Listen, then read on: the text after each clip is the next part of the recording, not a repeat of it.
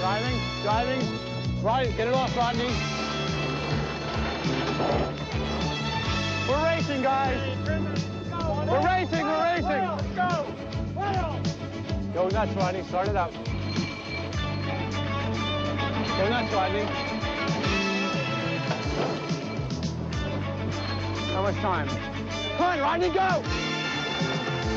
The America's Cup races are sailed between two boats known as 12-meter yachts, built to a complicated measurement formula designed to keep the boats closely competitive. Hard on the wind, Rodney. Get it going.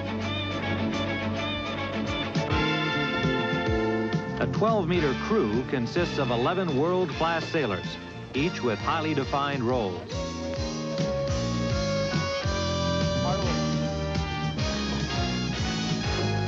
By the time the 83 races rolled around, millions of dollars and thousands of hours had been spent by those whose passion was to win the America's Cup.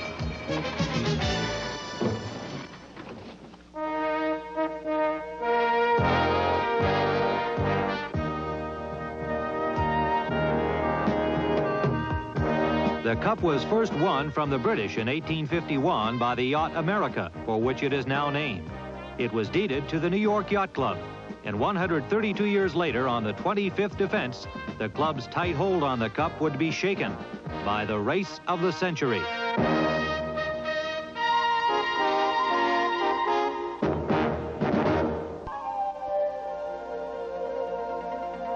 The 1983 Cup races were as much a competition of technology as they were of sailing skills. It was the first time that challengers from other countries were permitted to use superior American technology. The New York Yacht Club knew their defense would have to be tougher than ever before. Irrepressible Tom Blackaller was one of three possible Cup defenders. When he wasn't racing boats, he was racing cars. They're both just competition. I don't like skiing or painting or hiking in the mountains. I just love competition. And if I can't do it, then there's no reason for me to, to live. Some call his style sailing a la seat of the pants. Others say he's blessed with a sixth sense. Oh, I think sailing is uh, very much 70% art and only 30% science. I think it's it's much more an art than it is a science. And I think that every time the scientists get in it, the vagaries of the wind and the waves and the currents foul them all up.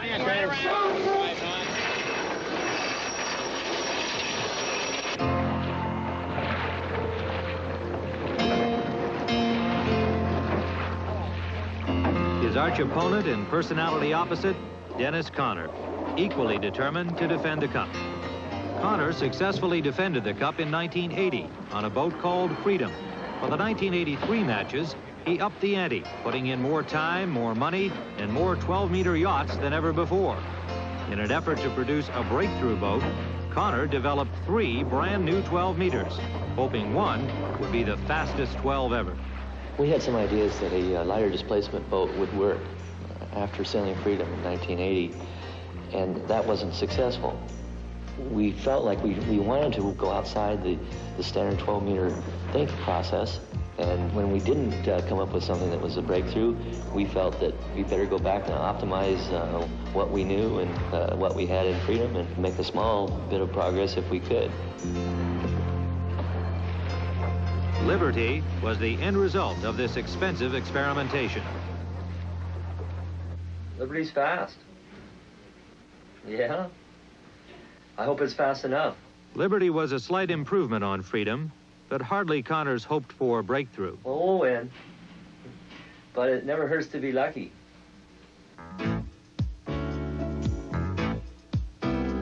The third contender to defend the Cup, John Kolius, the youngest, the least experienced, the underdog.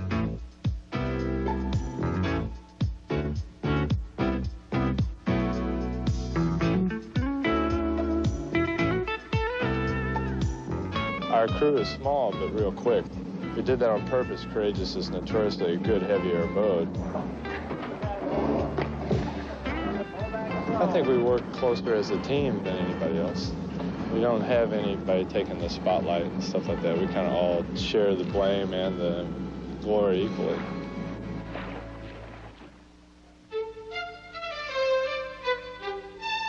In June 1983, these three men and their seven challengers from around the globe began their final countdown to the America's Cup races on the seas and shores of elegant Newport.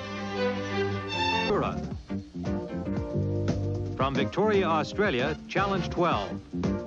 From Canada, Canada 1. From Sydney, Australia, Advance. From Great Britain, Victory 83. From France, France 3. From Perth, Australia, Australia 2. Seven challenging yachts, all determined to unbolt the cup from the New York Yacht Club.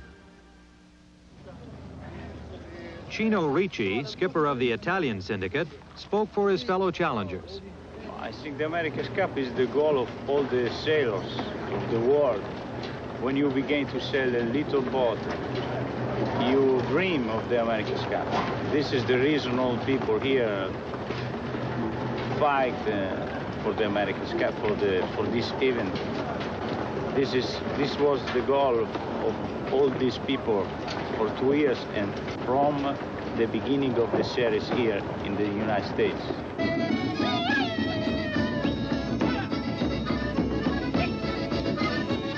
The summer transformed the normally conservative town into an international theater, and the Italians in particular brought their own special gusto to Newport.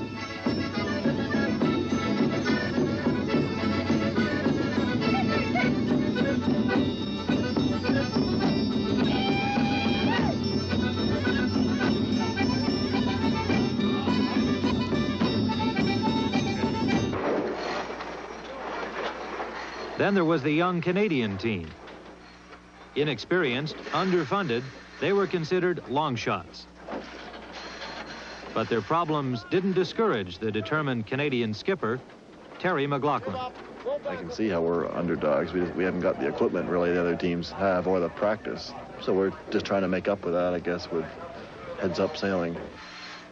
We know how smart we are, and we know how much we have to learn, and it's an incredible amount to be able to sail against, and, you know, beat the Americans um, is the first step.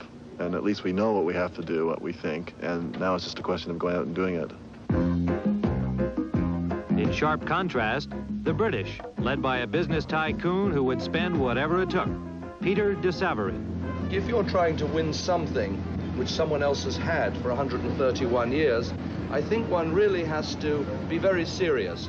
And we are here to win. So uh, I suppose inevitably it appears that we're here to win at any cost. Um, and within reason, that's true.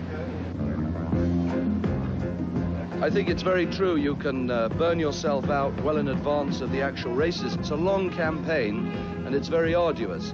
And uh, I think we're making this whole campaign fun.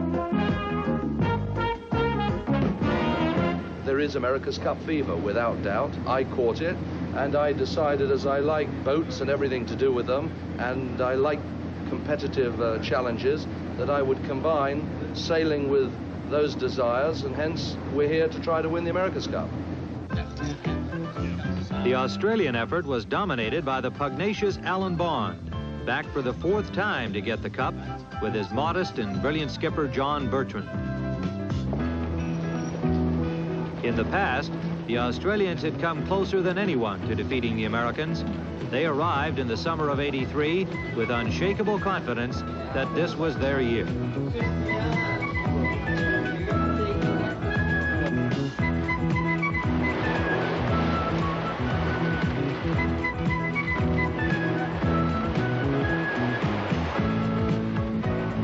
Alan Bond brought his mysterious and controversial new 12 Australia 2. From the very beginning, Australia 2 was surrounded with secrecy. Bond shrouded his supposed secret weapon, the boat's keel, in what were delicately called modesty skirts. When can we get a picture of your keel? This keel? Yeah. Oh, two, three months maybe, after we've won the cup.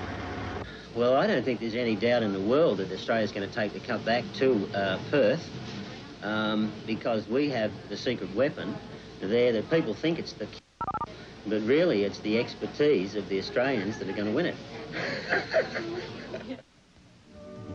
Crack of dawn.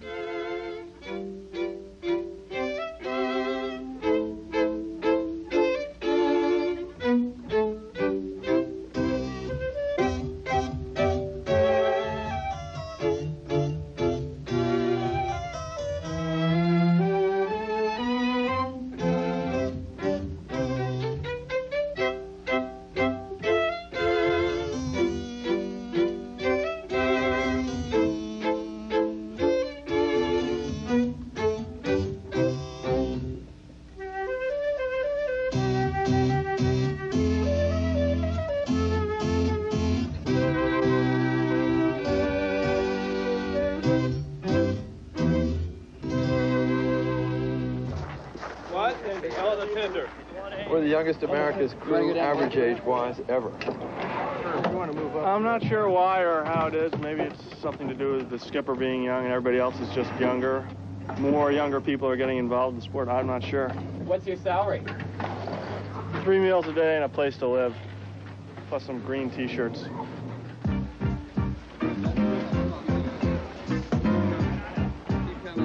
Kolius, with his older yacht Courageous, Tom Blackaller, with his new yacht Defender, were members of the same syndicate. They called themselves stablemates. They were rivals, but friendly rivals. Their common goals were to sharpen each other's skills so that one of them would beat out Dennis Conner.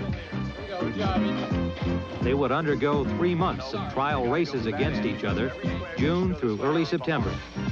Their performance in these races would determine which of the three teams would be chosen as the American defender.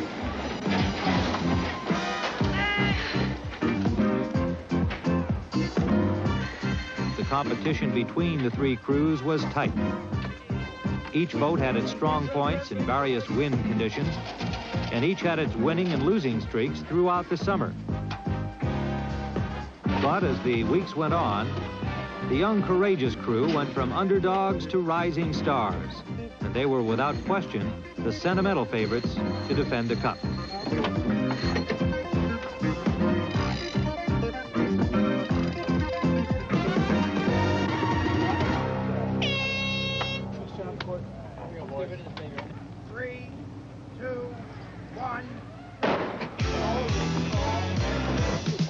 Arch rivals from way back, Blackaller and Conner slugged it out all summer. Blackaller's outspoken distaste for Conner's personal style and approach to the sport resulted in verbal volleyball on land and fierce battles on the water.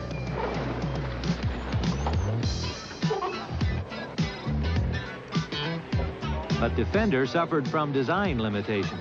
After three major modifications and no dramatic sign of improvement, Blackaller's chances for selection darkened.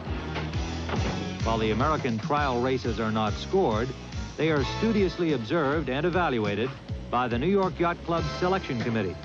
The committee looks for excellence in strategy, tactics, boat handling, and boat speed in all weather conditions. Need pace, Bill. 27. 16. How far?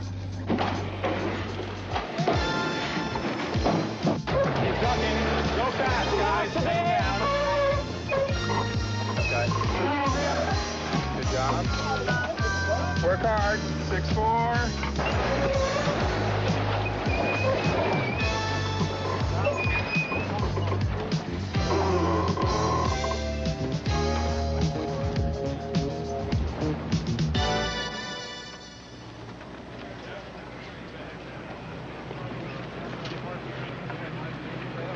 By the end of August, it was clear that Blackaller's new yacht could not develop the necessary boat speed to defend the cup. On August 27th, Tom Blackaller and the Defender crew were excused from further racing.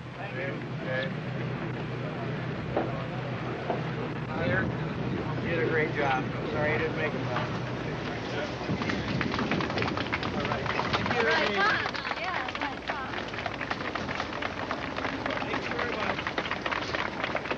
Well, what can I say? We did our best.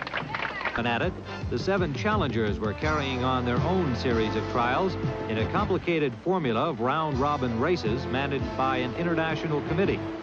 Unlike the American series, the Challenger races were scored.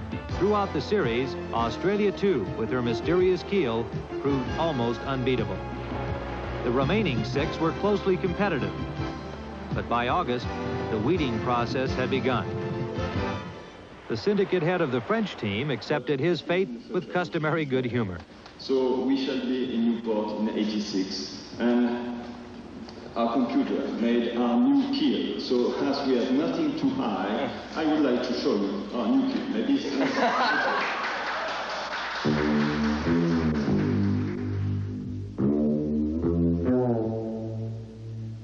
Advance was dismissed and dismantled. Then her Australian sister Challenge 12. I'm sorry we didn't win it, but uh, we put up a credible performance. Uh, the record stands that uh, we won. Chairman of the Challenge 12 syndicate, Richard Pratt, would now put his hopes on Australia 2. On August 22nd, the Challengers Race Committee eliminated the Italian team. They had made it to the semifinals, but were finally outscored. For Cino Ricci, it was a sad day, but he had reason to be proud, too. His young crew and his new yacht Azzurra had come far on their very first time out. Also a semi-finalist, Terry McLaughlin's Canadian crew was almost a Cinderella story. But midnight came for them as well. And then what had been simmering all summer long blew up. Controversy over Australia 2's mysterious and to some illegal winged keel. It had begun with a warning to the New York Yacht Club from Dennis Conner's navigator, Halsey Herreshoff. It has been evident, once we've learned something about the uh, keel, that they have their sort of a trick, which uh, in effect makes the boat deep. And at the present moment, this uh, depth of the keel, which is a very important factor in the performance of the boat, is not being rated as that. And it's our feeling that it should be, and that was the reason I um, worked to bring the controversy to the fore. We have a 12 metre. Um, the tactics expressed in the statement here uh, are unacceptable. Um, quite clearly, the, the yacht is measured. We'll continue to race. In order for it to be a really proper race in the tradition of the America's Cup, a race not only of design but of the sailing, it's important that uh, there be fairness in the rating of the boats, and that's all that we ask for. Fortunately, we race under international rules and not rules set up for the benefit of one club. And while yachting worldwide has an international body uh, that, that administers it, we're quite satisfied that uh, all uh, will be well and will be on the starting line. Bear in mind, we've still got the task in front of us to, uh, to become the challenger, and that's our immediate task.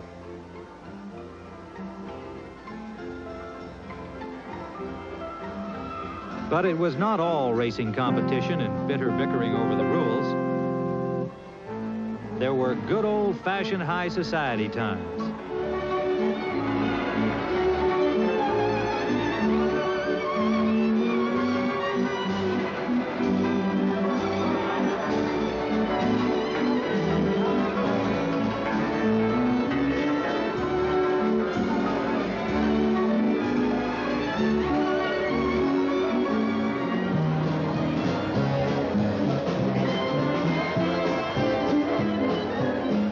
When you feign friendliness with your favorite foe, particularly if the media is watching.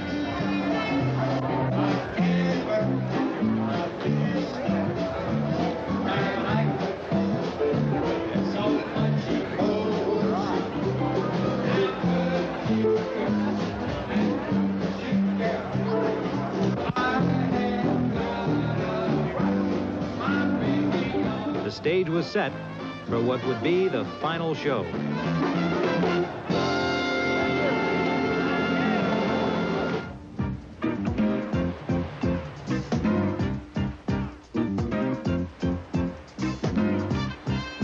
All summer long, de Savary had pushed his team to the limit. But but his buttoned-up, expensive, and almost military approach to the event couldn't produce the necessary boat speed to beat Australia 2.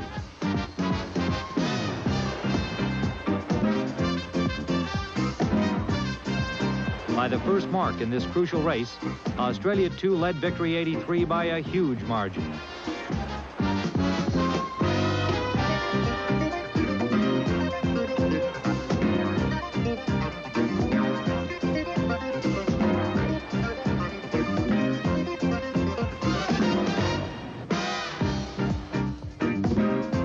Throughout the series, Australia 2 demonstrated remarkable speed and turning ability.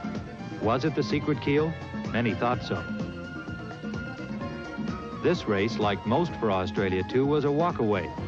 As she approached the finish line, Australia 2's lead was so great and victory so certain that the crew lowered the jib even before the race was over.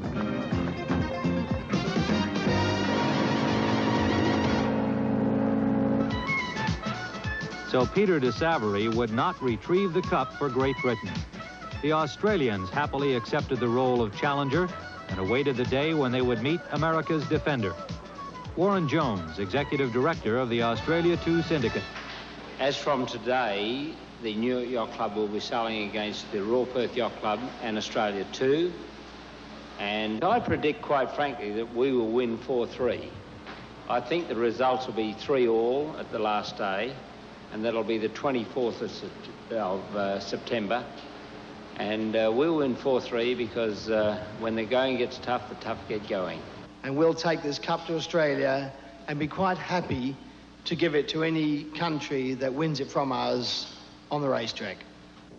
The New York Yacht Club Selection Committee, a group of straw-hatted gentlemen whose task it was to select the American defender. By September 2nd, the selection had not been made. It was down to two very tight contenders, Courageous and Liberty. We start off early in the season to see uh, who has boat speed, who has the best sails, who has the crew work. One thing that we do want to make sure of is that uh, we do get an all-around boat. Right now, we don't know for sure which boat will do the job, but uh, we got two good ones left. The last race between Liberty and Courageous was as close as they had been all summer long. Kolius and the Courageous crew had won everyone's hearts. But most observers thought the more experienced Dennis Conner would be selected.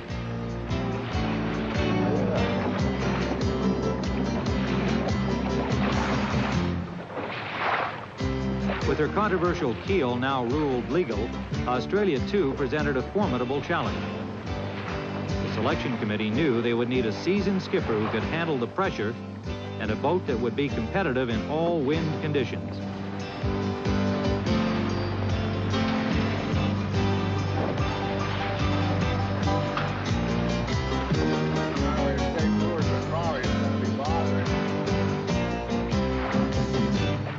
Don't you like that Liberty is being a little bit better? I agree. I guess what we've been looking at is the uh, the young new sailors against the guy who's really been around. And he's practiced against another 12 for, what, six years now, almost exclusively against, to any other sailor.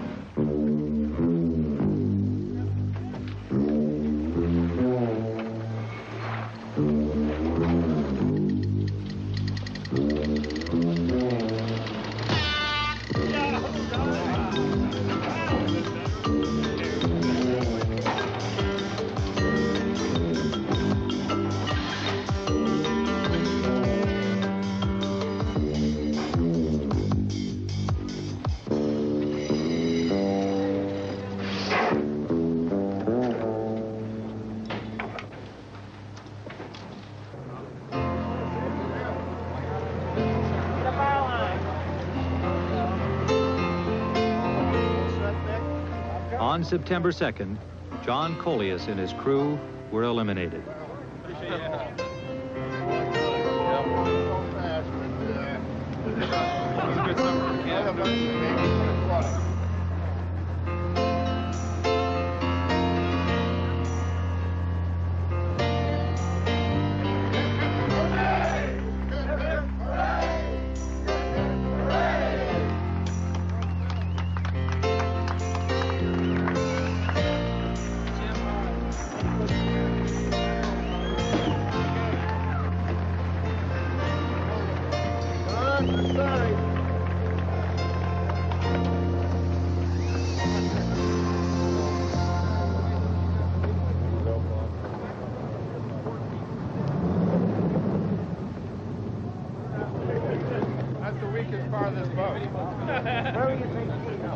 For the selection committee, the next stop would be easier.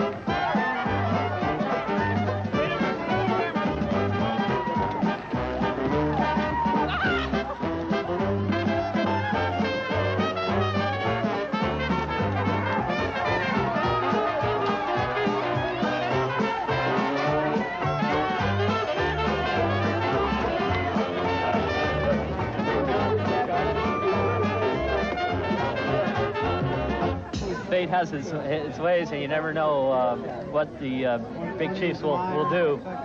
So it would be presumptuous of us to uh, assume anything until we actually see them on the scene. What, what do they say to you? I mean, do they do they congratulate you? Uh, what, what are they? Well, they don't have to say too much. We knew why they were there, and uh, we appreciated uh, their visit, and I think that meant as much as anything because they know that we've worked hard and we appreciate their support. And uh, we're ho hopefully we can take it from here. This is Jack. The America's Cup Challenge Down Under continues after this word. September 14, 1983. Liberty and Australia 2 finally meet for the first time. As the boats headed out, like two racehorses heading for the starting gate, a nervous question rippled through the New York Yacht Club. Could Dennis Conner keep the Australians in check? At the start line, Australia 2 displays her superb maneuverability and beats Liberty over the line by three seconds. The first leg answers much of the speculation about the competitiveness of the two boats. As they tack back and forth, the lead changes twice. The boats are never more than a boat length apart.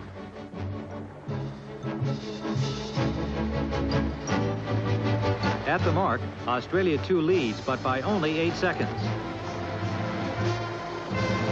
On the third leg, with the wind coming from behind, Conner uses shrewd tactics. He blankets his opponent, steals Australia 2's wind, and takes the lead again.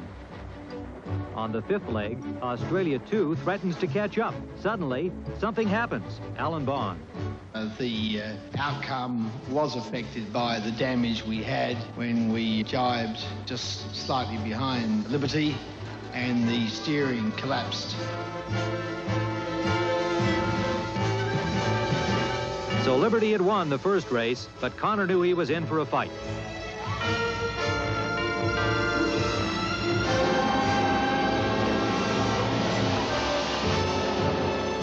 Well, it's nice to uh, get the first win under our belt, but uh, one win doesn't make for a series, and uh, I'd like to get three more before we get too excited about it. Liberty took the second and a 2-0 lead in the best of seven series.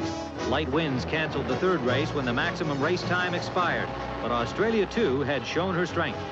Well, it's obvious that Australia 2 uh, has superior manoeuvrability before the start, so I would say that the Liberty crew are trying different techniques on how to start against us. It's anyone's guess. The boat obviously is a, is a very good yacht and uh, capable of winning the America's Cup.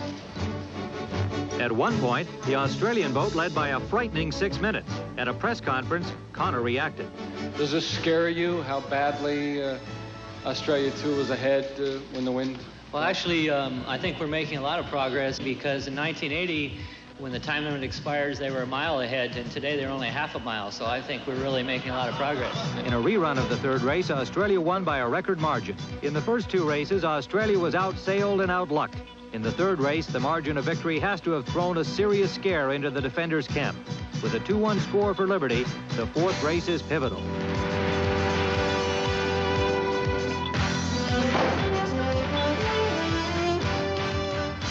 Dennis Conner seems to have caught John Bertrand by surprise at the start, outmaneuvering the agile Australian boat and crossing the line with a six-second lead.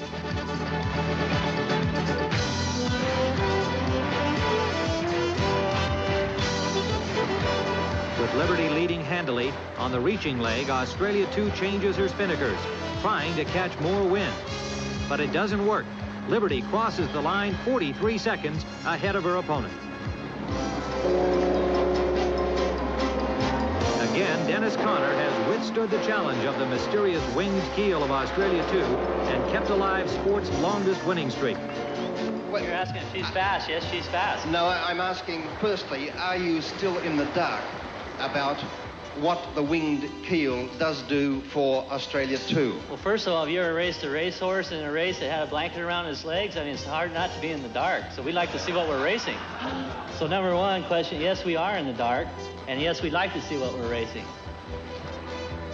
Race number five. With a 3-1 score in his favor, Conner hopes he can end the series. But the unexpected happens. Equipment failure. This time on Liberty. Basically what happened is the three-quarter inch uh, stock that comes out collapsed, and so we had no port jumper. This happened about 35 minutes before the signals, so we radioed the shore. And in the meantime, we had two people aloft, which was heroic, to say the least. I don't know too many people you could have paid to be there in that kind of sea, and they got tremendously bruised. So the new part arrived, and uh, we got it up the mast, and they installed it two minutes before the signals.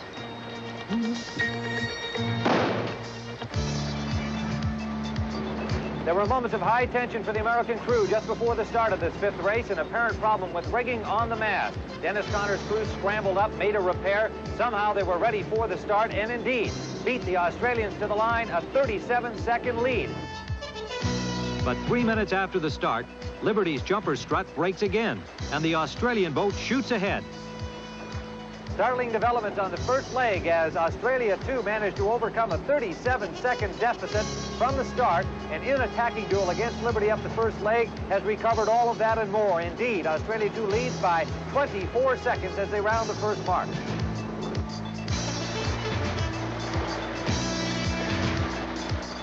Never in modern America's Cup history has a foreign challenger won more than one race. It looks today like John Bertrand will give Australia 2 its second win in this series, and who knows what can happen after that. Despite a 37-second deficit at the start line, Bertrand has Australia 2 in front by 52 seconds coming down the final leg.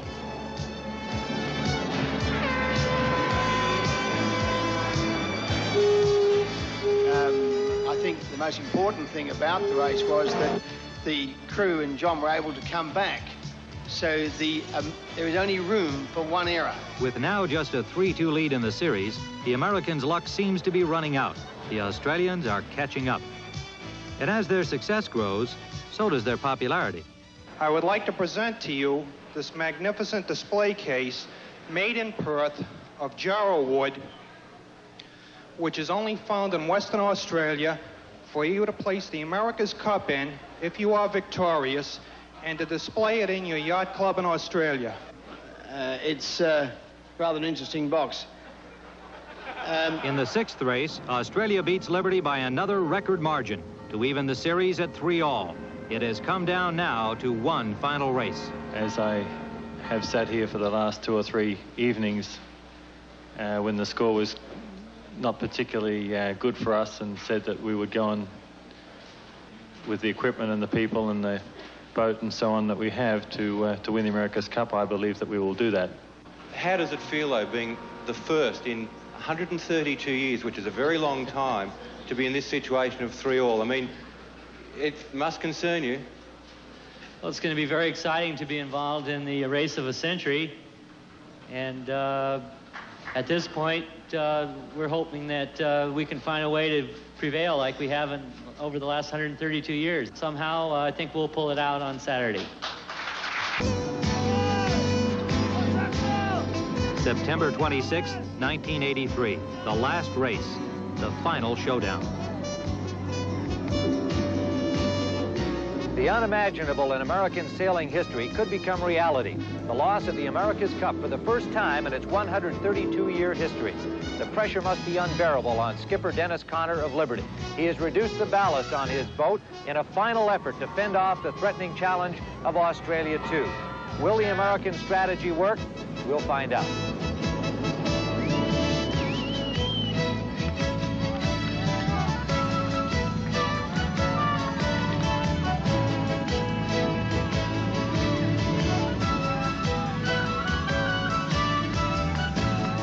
Before the start of the race, the two yachts cautiously stay clear of each other, trying to avoid a possible foul and disqualification in this climactic race. At the start, Conner takes the favored side and crosses ahead of Australia 2. The first leg, a neck-and-neck battle for the lead. In a heated tacking duel, Australia 2, once again showing her remarkable maneuverability, catches up, but not for long. An incredible turn of events in this deciding race for the America's Cup. After Conner had led by eight seconds at the start, the Australian boat was in front with a big lead when the two boats crossed for the first time. But here at the mark, the American boat is back in the lead by 29 seconds. At the second mark, Liberty adds 26 seconds to her margin and leads by nearly a minute. Throughout the final series, Australia 2 has not done well on the reaching legs. However, coming down to this mark, she has now reduced the margin to just 23 seconds as they head into a windward leg. And that's Australia 2's strength.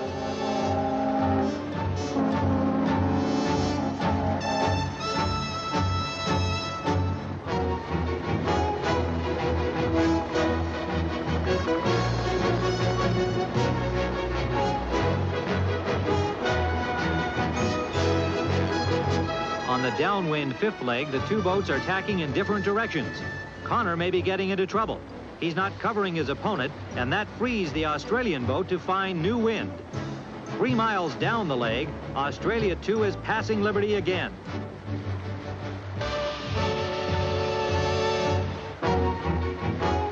In an attempt to regain the lead, Conner initiates a furious tacking duel. But Bertrand covers Liberty again and again, 46 times. In a last-ditch effort to get clear wind, Conner sails toward the spectator fleet. But Bertrand is over the finish line. It's all over. The Australians have won the America's Cup.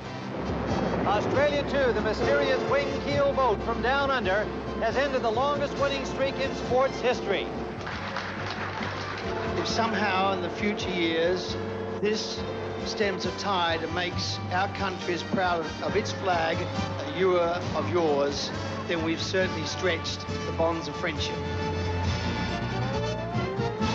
But it really was a very emotional moment. So proud, a great Australian and a great Australian effort.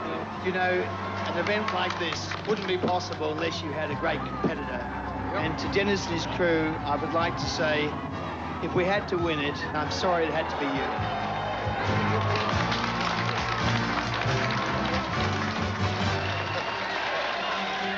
It's a fulfillment of a dream which has come true, and it's certainly the greatest day of my life, yes.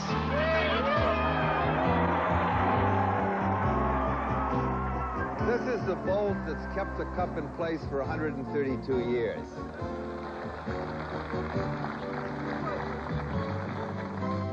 This is the greatest thing you could do for our country, Australia. Now it's my great privilege to present the trophy. As I said before, hope he doesn't keep it too long, but take good care of it.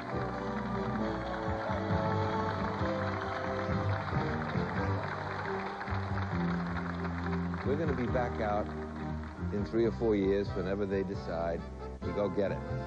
And I have just had a call this morning from a group in the United States who says they're going to challenge already. This is Jack Whitaker. The America's Cup Challenge Down Under. More to come right after these words.